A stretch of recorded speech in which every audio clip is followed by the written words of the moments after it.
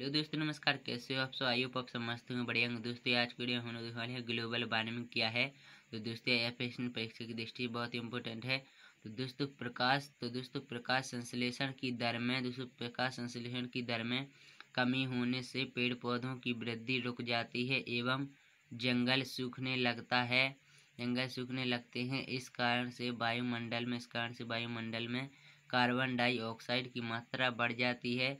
वायुमंडल में उपस्थित कार्बन डाइऑक्साइड तथा अन्य ऊष्मारोधी गैसें ऊष्मा का कुछ भाग शोषित कर भूतल पर वापस कर देती हैं। इससे इससे निचले वायुमंडल में, इससे निचले वायुमंडल में अतिरिक्त ऊष्मा जमा होने लगती है और वायुमंडल का तापमान बढ़ जाता है, जिसे ग्लोबल वार्मिंग कहते हैं।